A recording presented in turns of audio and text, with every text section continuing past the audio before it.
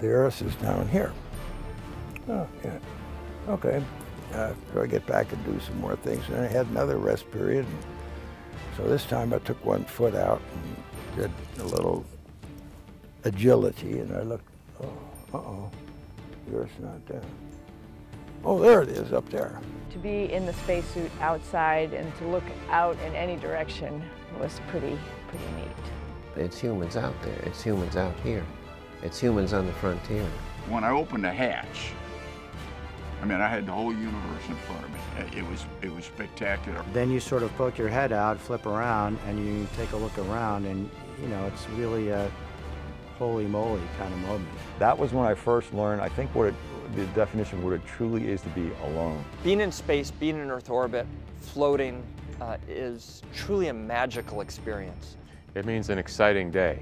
Uh, it means it's a, it's a day that it's going to be a lot of work, but very rewarding work. NASA's astronauts and their international partners suit up for modern spacewalks with training and experience.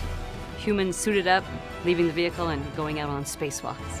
Exploring, you know, going beyond and always going into a situation we've never been to before to fix something, say a space station, to deploy an experiment, or longer term, I think of spacewalking on Mars. So I spend a lot of time thinking about how humans are going to explore Mars, suited with some pretty new, cool technology. When floating out in the void of space, they are standing on the shoulders of giants, making new discoveries by building on a prestigious legacy.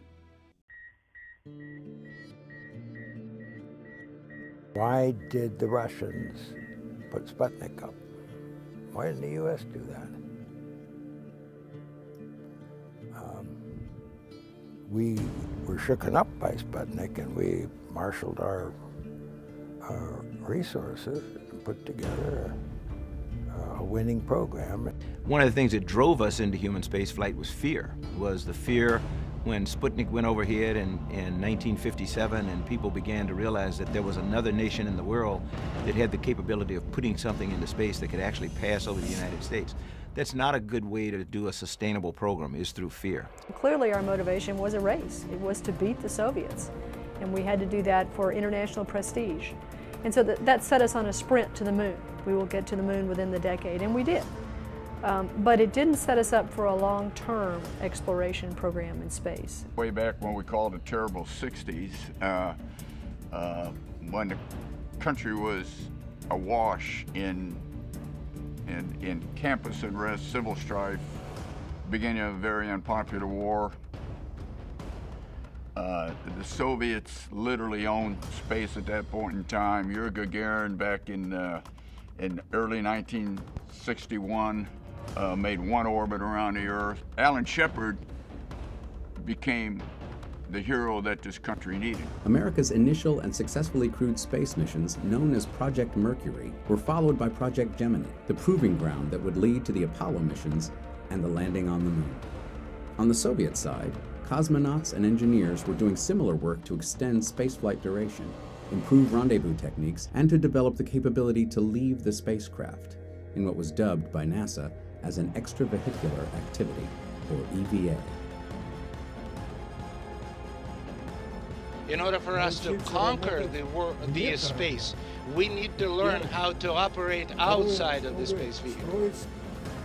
The first successful egress from a spacecraft while in orbit was achieved by cosmonaut Alexey Leonov on March 18, 1965, making him the first person to complete an EVA, or spacewalk. And what I saw, and I saw just half of the world, because we were 500 kilometers above the Earth. And uh, nobody, even up, up, until now, nobody is flying that high. Alexey's, you know, uh, task was to get out and get back in. And he had he had basically, uh, as best I understand it, uh, um, a fabric tunnel after he got out of an airlock, and he was literally out there in a vacuum of space. And uh, and once he got through that tunnel, his job was to turn around and get back in, and had a great deal of difficulty get, getting back in because he had to turn around in that tunnel with a, a, a pressurized spacesuit at that time, even for us, was like being inhibited by a suit of plaster of Paris. I mean, it was hard to move anything. And he literally had to deflate his spacesuit at that point in time to be able to uh, to reduce his size to get back in. Later that year, Gemini 4 stood ready to launch from Cape Canaveral, Florida, with the primary objective of gathering the results of an extended four day mission on both crew and spacecraft. Gemini 4's original semi conservative mission was then expanded to include, amongst other things, a dramatic exit from the Gemini spacecraft in what would be America's first spacewalk. On June 3, 1965, the second crewed mission of the Gemini series carried James McDivitt and Edward White into space. At 2:46 p.m. Eastern Time, using a handheld gas gun, White stepped out of his spacecraft, leaving crewmate McDivitt behind to witness the vastness of space alone, becoming the first American astronaut to complete a spacewalk. It's very easy to maneuver with the gun. The only problem I have is I haven't got enough fuel. The only thing I wish is I had more. This is the greatest experience. I've, it's just tremendous. We had Ed White's magnificent 20-minute quote walk in space. I don't think you'll ever get any better, any better uh, uh, film. Uh, it was space euphoria, I think, from everyone from from uh, from Ed and Jim McDivitt to everyone on the ground and mission control everybody. I mean, it was spectacular. He had a little gun, he controlled his body, he could move where he wanted to go. It set us up. As time progressed, the Gemini program continued to refine and extend EVA procedures as more astronauts followed with tethered spacewalks in Earth's orbit. Well, you know the difficulties that we had in the Gemini program doing spacewalks because the state of the art, the state of the art needs to improve. But you saw the difficulties there when you jump out and you try to get something done. Well, you haven't practiced in the free fall zero G condition. And so it's Newton's second law. You push on something, it moves your body instead of getting the work done. And so that whole business, you see, we just evolved and we grew since, since Leonov and, and Gemini on.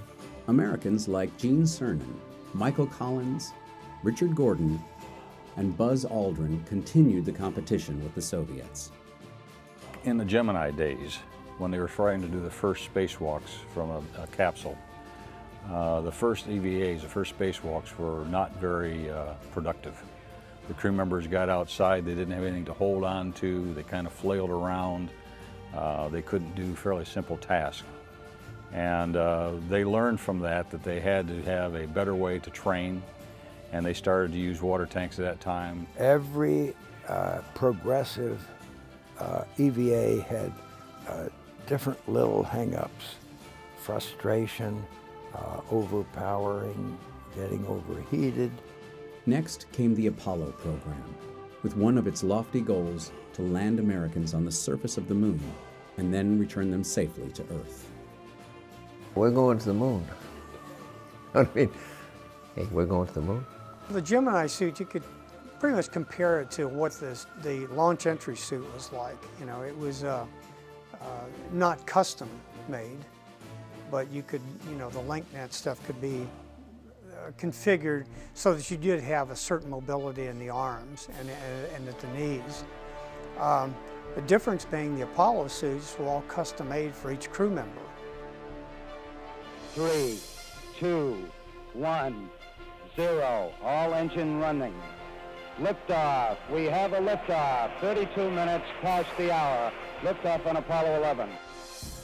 The first steps on the lunar surface were performed by Neil Armstrong and Buzz Aldrin. It was July 21st, 1969, and the world irrevocably changed with the steps of men very far away from the Earth.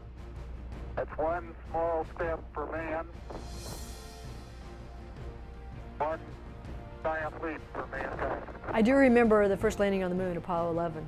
I remember um, I was, I guess, in high school and staying up and watching that and, and, going out and looking at the moon and just marveling about their people up there. I think we were all captivated when Neil Armstrong did the ultimate spacewalk, which was to actually go out of his vehicle and end up walking on the surface of another, another body in our solar system. You have a mass with the backpack and the, uh, the body and everything else. Uh, and, and you move around and you kind of think that you can change direction. Uh, but that, that's sort of why at the end of uh, our two hour, two and a half hour EVA, I got in front of the camera and, and bounced around uh, with different ways of moving. I was really personally impressed with the Apollo EVAs and spacewalks. Can you imagine the first humans to ever walk another planetary body to the moon? So just fantastic. And you kind of see that two foot bunny hop. So we had great spacesuits. We kept the Apollo astronauts alive. Once we got the lunar rover set up, uh, we were ready to go be lunar explorers, if you will. Uh, and part of the lunar rover uh, had had plastic fenders that that's, that when it was folded up, we had to unfold and they slid down to cover the wheels. But the reason we had fenders on these things were because the lunar dust was, was one of the biggest problems we encountered on the surface of the moon. It was uh, almost the texture of graphite, but graphite's a lubricant. This was just the opposite.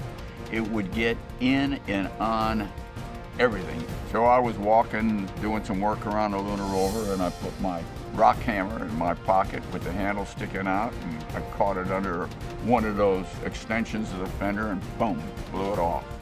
The, the dust would have come right over the top and immersed us in all this dust. So we had to figure out a way. We took four maps, four lunar geology maps, and taped them together and took a couple light clamps and uh, clamped them, and it did the job. Uh, and what do we tape them with? Duct tape. We went from there into the Skylab program, and we went to the A7LB at that time. So uh, Apollo, you know, so we're on the surface with A7L, our spacesuit, and we do have a sixth of a gravity, and we do have the life support system on the back, which is taking care of all our physiology, the cooling, the oxygen, removing the carbon dioxide, and all the rest of that. In the Skylab program, we were on an umbilical, the umbilical provided all of the physiology, if you will. The, the umbilical between the spacewalker and the Skylab space station provided all the life support. When we went into the shuttle program, we went back to riding a backpack. But the big difference between the shuttle and, uh, and Apollo was that um, we did we integrated the backpack with the suit itself. So Apollo was you wear the backpack there and you bring the hoses around and connect them. In the shuttle program, we integrated the hard upper torso and the life support system. But importantly to us then was we did away with the zipper. Now the zipper worked, and I had taken a zipper to a vacuum many times.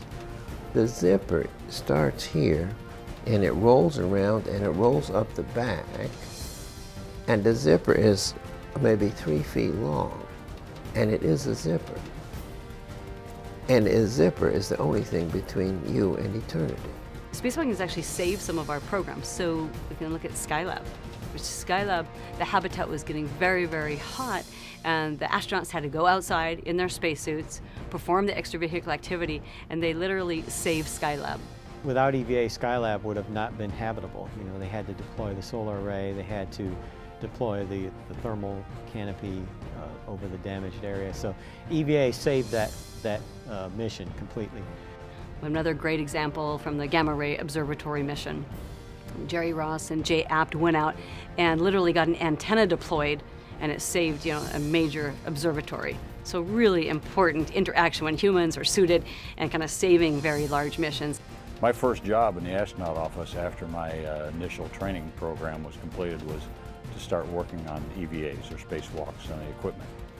And in fact, uh, we uh, worked uh, with the uh, early crews to design what their spacewalks would be like. Uh, STS-5 was the first planned spacewalk and they had equipment malfunctions which prohibited them from going outside. And then STS-6 was the first one where we actually conducted some spacewalks. So I worked with those crews helping them to uh, figure out what tools we had available to them that they could test out and operate in the vacuum of space out in the payload bay of the orbiter. And then we progressed from there. The suit was not a brand new suit anymore. I had run it through all the on the floor, that's the 1G test. I had run it through vacuum testing. I had run it through certification where the number of cycles you put on every, all the joints. I've been in the water with it, so it was a friend. Uh, from that, then we started to develop things like the manned maneuvering unit, the little rocket backpack that we uh, demonstrated on several flights and used in some cases. In dramatic fashion, doing the first fully untethered spacewalk, Bruce McCandless zoomed about in the manned maneuvering unit.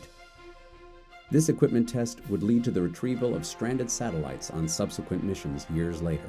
And I uh, was really jealous of Bruce McCandless when he had a backpack and, and went out uh, a ways without a tether and uh, maneuvered around.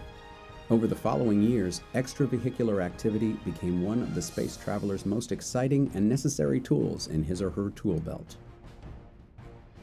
It was July 17, 1984, as cosmonaut Svetlana Savitskaya broke the proverbial glass ceiling and became the first woman to walk in space. Kathryn Sullivan followed shortly after on October 11th, becoming the first female American astronaut to perform a spacewalk. This is the uh, first chance I had to stick my head out the hatch on our EVA on day seven. As time progressed, so did the need for advanced technology and utilities. Complicated missions and space program saving maneuvers are the essence of NASA's extravehicular activity. There was uh, one time when I was on the end of the mechanical arm, it was on the Hubble mission, and I was being moved from one place to another, and you really have no sensation of movement when you're on that arm. It's just so smooth. Um, there's nothing, there's no drag of the water pulling you back, and so you don't really know you're moving. Um, and I was just, I was working on the tools, I was putting the sockets on for the next, whatever task I had to do next. And the guys stopped and they said, you have to look at this, you just have to stop and look. And so I stopped and looked, and we were over the Gulf of Mexico. We could see entire North America, and we could see Aurora up over Canada. And it was just an amazing view. Uh, we started to develop uh, little power tools we developed more wrenches and other kinds of tools that we could use for other types of failures that we identified in the payload bay door mechanisms to, to remove debris or to disconnect things should they, should they not function properly. From the Apollo program's deep space missions around and to the moon, to the U.S. Skylab, Shuttle, and International Space Station programs, spacewalkers have suited up. On board the spacecraft, you've got the today two spacewalk crew members who go out, work cooperatively together. They become brother and sister, brother and brother, sister and sister. They learn how to work as a very uh, coherent team. They, they actually understand each other's moves. They know where they're supposed to be. You've got uh, nowadays a robotic operator who's generally moving one, at least one of the crew members around on a robotic arm. You've got the IV crew member, the intervehicular crew member, who is, for all intents and purposes, the choreographer, has the whole mission kind of committed to memory, knows when somebody's out of position, knows when somebody's about to get too far away where they can be safely tethered.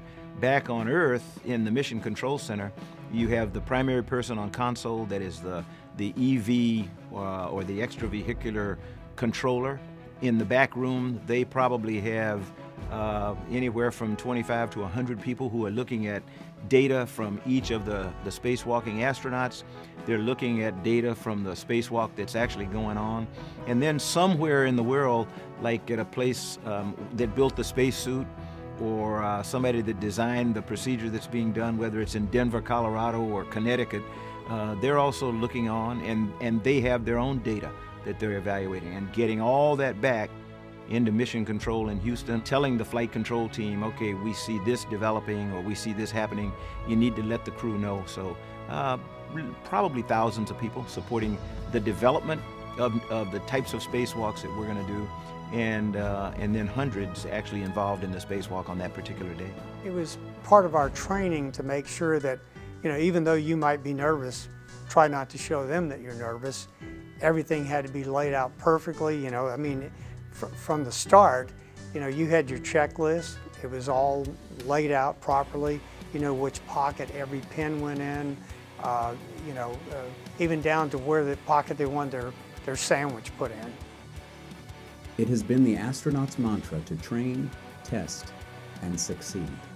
One of the things that astronauts learn to do to, uh, to look at a situation and don't panic about anything, you'll make it worse, uh, but think carefully, uh, did you do something wrong? And then fix it. Well, the astronaut prayer, which is, please God, don't let me screw this up, that's the first thing. I think the biggest fear that, that I had, and maybe many astronauts as well, is not that I was going to get hurt, it's that I was going to mess up. Because everybody's watching, um, you have such a limited time out there to get done what needs to be done, and you really, really don't want to make a mistake. It was cold.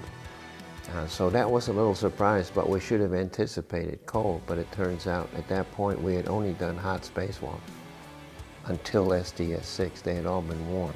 The STS uh, 125 crew, which was the final Hubble servicing mission, um, that uh, almost none of us thought they would be able to successfully complete five back-to-back to back-to-back to back EVAs and do all that they were supposed to do. And they not only completed them in spite of obstacles at almost on at every turn on almost every single EVA, but they did them superbly and left Hubble in, in, in incredible shape. And I think they did a, a, tremendous service to planetary science, astrophysics, and, and just the field of, of spacewalks in terms of showing people that if you really work hard at it and you plan it and you execute the way you planned, uh, there's nothing we can't do. When you're doing a spacewalk on orbit, you're in your own spaceship. It's your spacesuit, but it keeps you from the vacuum outside and your crewmates inside the space shuttle. I had one moment on the Hubble Space Telescope mission where Drew Feustel, my spacewalking partner, was on the other side of the telescope, and I was holding onto a handrail looking up at the Earth go by behind the Hubble. Uh, and it was a truly remarkable moment.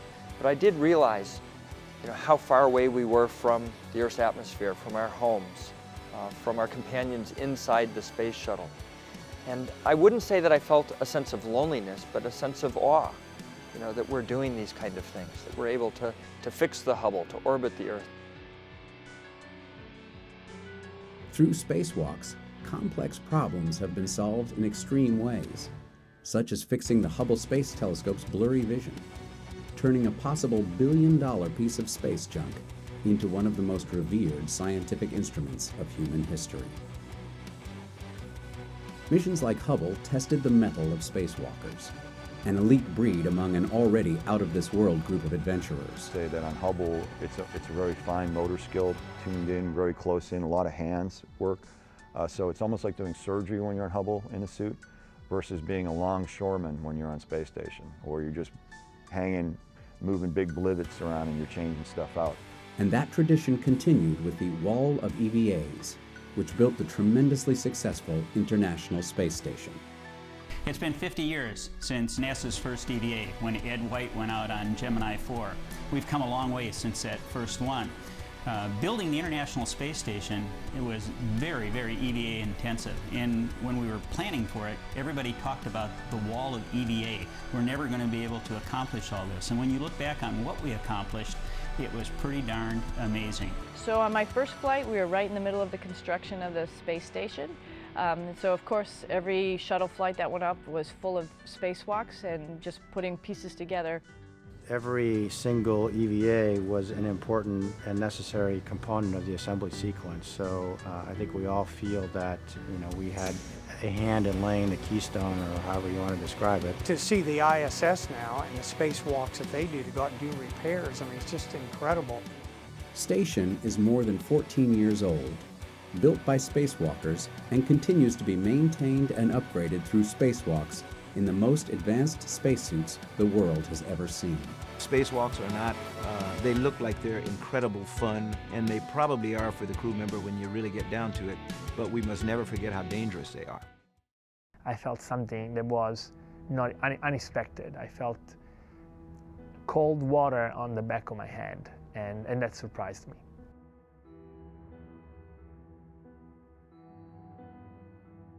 I, I contacted the ground, which is the first thing you would do when, when something that you're not expecting comes up. So I asked Houston for, for advice. You know, I said, I, I feel water in my helmet, but what it feels like a lot of water.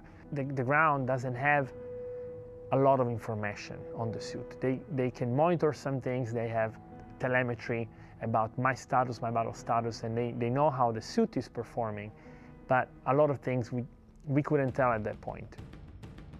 Is, is the water increasing in my helmet, in the back of my helmet? I, I couldn't tell.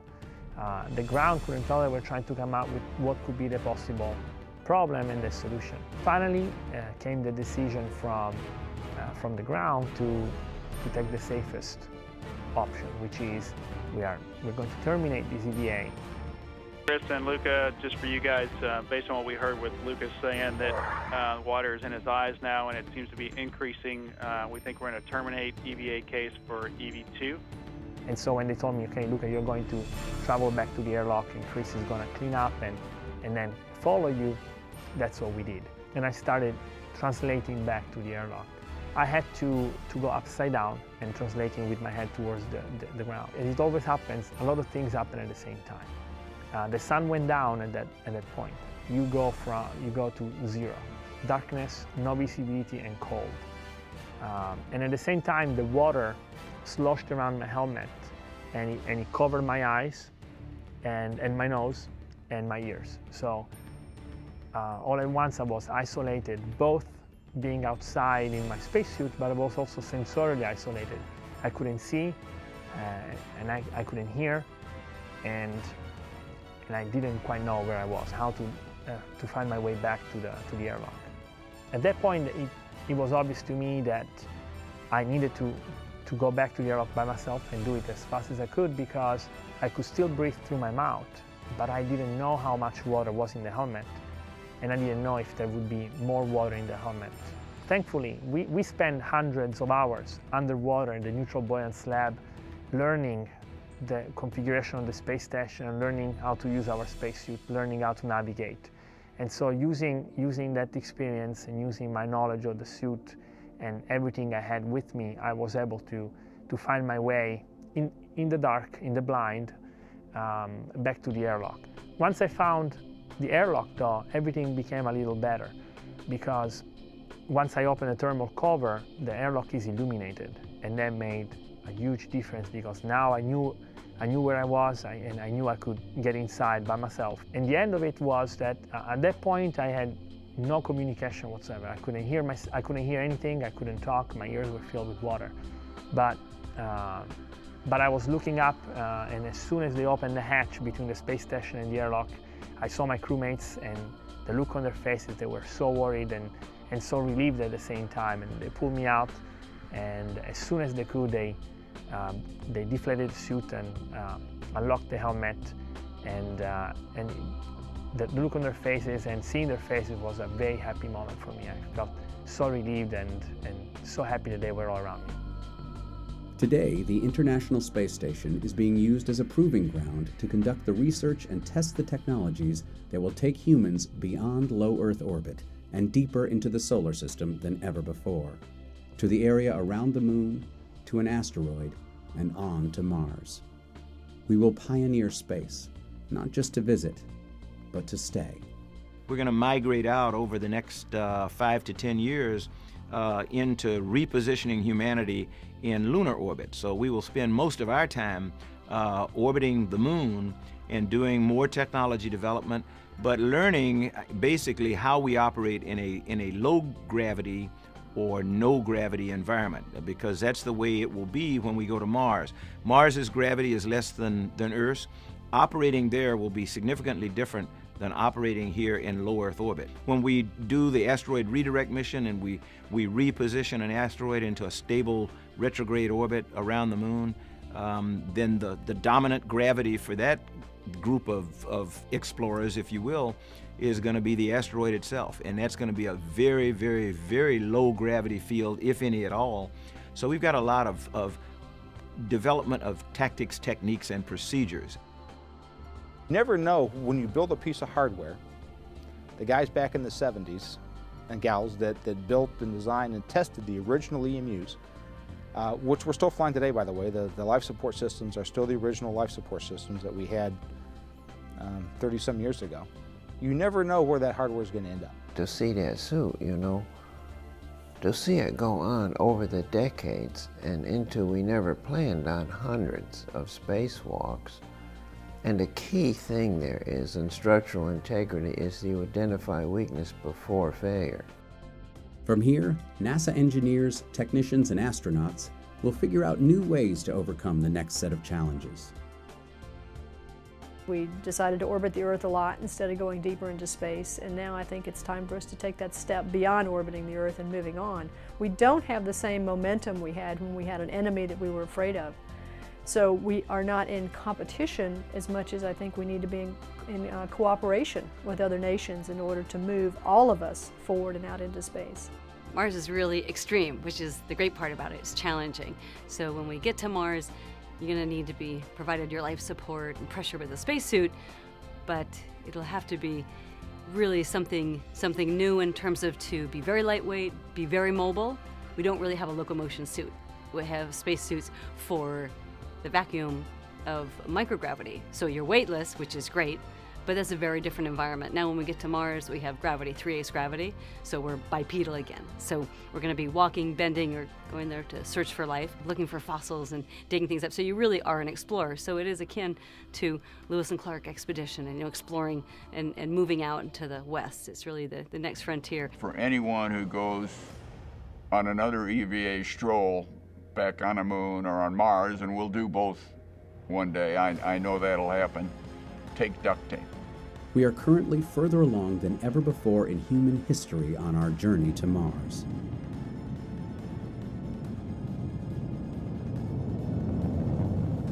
American engineers and scientists around the country are working hard to develop the technologies, including new spacesuits, that astronauts will use to one day live and work on the Red Planet. Next stop Mars.